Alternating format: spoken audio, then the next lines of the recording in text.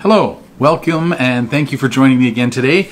Uh, we are going to try a little bourbon today. Uh, no cigar, we're in the house. Uh, my missus uh, frowns upon cigar smoking in the house, so to keep the peace, we, uh, we don't do that.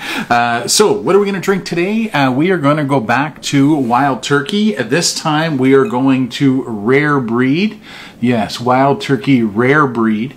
Uh, this one is uh, 116.8 proof, so that's about 58.5% alcohol.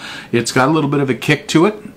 Uh, so uh, let's have a have a quick look at it. You can see uh, it's nice and amber, like golden amber. Um, so beautiful color on it. Uh, when you swirl it around, the nose on it's really really nice a lot of honey a lot of super sweet on it um, the nose is uh, is quite nice uh, let's get another one of those yeah very sweet uh, I get a lot of honey and again as I say in every video I don't have the most uh, the most uh, developed nose or palate um, but um, let's give it a taste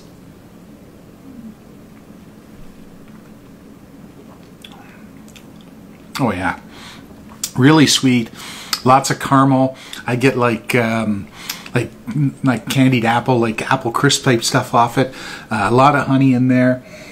At least that's what I get. But you can smell the alcohol at the back, uh, very very prominent. And this one, mm-hmm, really really sweet. But again, that bourbon burn that you expect at the back. Uh, uh, really, really nice bourbon. I suggest if you if you see one of these guys, pick it up. Again, it is rare breed from Wild Turkey. Um, well worth uh, well worth picking up.